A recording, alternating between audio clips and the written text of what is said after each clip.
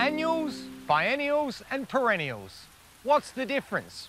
Well, annuals complete their life cycle, that is, they germinate, they grow to maturity, they flower and seed all in the one growing season. That can be one year or even less.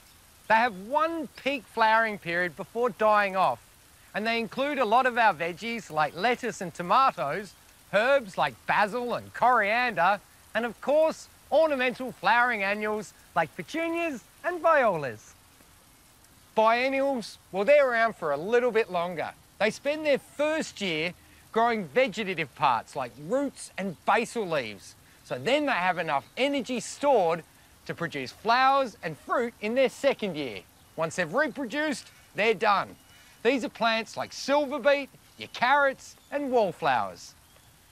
Perennials live for many years and they're pretty much everything else. And they're divided again into two groups. Herbaceous perennials die down to underground storage organs like tubers and bulbs and then come back when the weather's suitable. These are things like daffodils, liliums, crocus and hostas. Woody perennials, well they're your shrubs and your trees.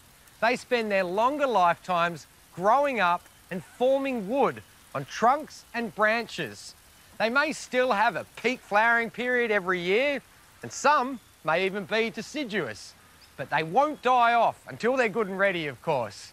Some can be hundreds, even thousands of years old.